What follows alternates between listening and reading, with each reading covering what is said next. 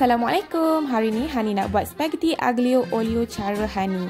Resepi yang asalnya dari Itali ni sebenarnya sangat mudah, pantas disediakan dan semestinya sihat.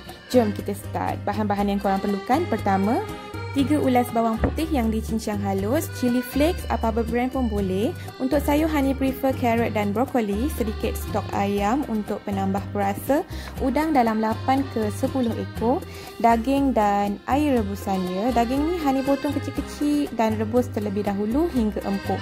Honey akan gunakan juga sedikit air rebusan dia waktu menumis nanti. Dan yang terakhir sekali korang perlukan spaghetti. Apa-apa brand pun boleh. Untuk make sure lebih sedap, pilih spaghetti yang jenis kasar dan besar-besar macam ni. Okey? Mula-mula didihkan air terlebih dahulu. Bila air dah didih, perlahankan api. Masukkan spaghetti, masak spaghetti hingga lembut. Bila dah lembut, korang toskan dan ketepikan. Kemudian panaskan minyak, masukkan bawang putih yang dah dicincang halus tadi. Untuk aglio olio, korang memang perlukan sangat-sangat bawang putih ni. Lebih banyak korang letak, lebih sedap aglio olio korang nanti. Tumis hingga kekuningan dan naik bau. Kemudian korang masukkan chili flakes. Hani letak anggaran dalam 2 sudu makan. Kalau korang suka pedas, korang boleh letak lebih. Kita orang Malaysia ni selalunya suka benda-benda yang pedas kan. Okey, kemudian masukkan daging dan air rebusan dia. Kuatkan api, kacau rata sekejap dan masukkan dua sudu kecil stok ayam sebagai penambah rasa. Diikuti dengan garam serta brokoli dan carrot. Korang kacau sekejap, masak hingga carrot dan brokoli korang tu jadi lembut. Kemudian last kali Hani masukkan udang. Kalau korang ada sotong, boleh masukkan sotong waktu ni juga.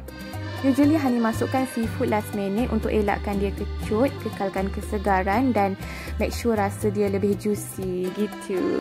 Bila nampak udang dah masak, bertukar orange, korang masukkan spaghetti yang korang dah rebus uh, awal-awal tadi. Masukkan semua dan kacau rata.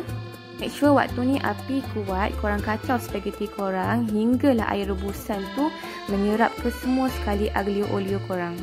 Lepas tu korang bolehlah rasa adjust manis masing dia ikut cita rasa masing-masing. Finally, siap dah spaghetti aglio olio kita. Tak payah pergi Itali nak rasa western food macam ni. Buat sendiri kat rumah. Senang pun senang, sedap pun sedap. Betul-betul menepati cita rasa kita sebagai rakyat Malaysia. Okeylah, itu je yang Hani nak share hari ni. Untuk korang semua, selamat mencuba dan jumpa lagi.